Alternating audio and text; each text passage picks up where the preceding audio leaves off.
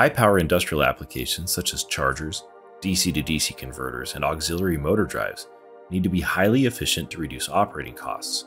Engineers are also faced with the challenges of reducing the size, weight, and cooling requirements of these power systems.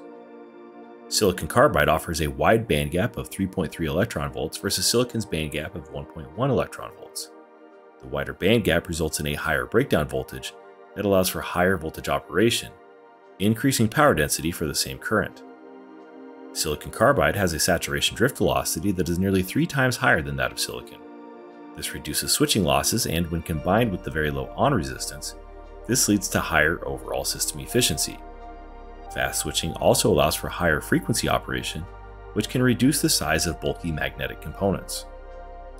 Silicon carbide also has excellent thermal conductivity, providing efficient heat dissipation and allowing devices to operate at elevated temperatures with reduced cooling, leading to smaller, lighter, and more reliable circuits.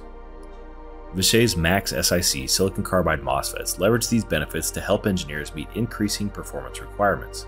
With a 650, 750, 1200, and 1700 volt VDS rating, continuous drain current ratings up to 49 amps, and RDS on values from 10 to 560 milliohms. Vishay Max SiC MOSFETs can operate at junction temperatures up to 175 degrees Celsius and have reduced on resistance variation over temperature. They also have a 3 microsecond short circuit withstand capability to ensure robust operation.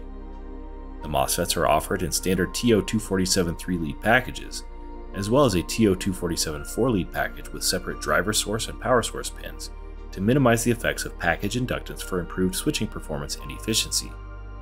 A compact D squared pack is offered for high density or space constrained designs, and this also has a separate driver source pin.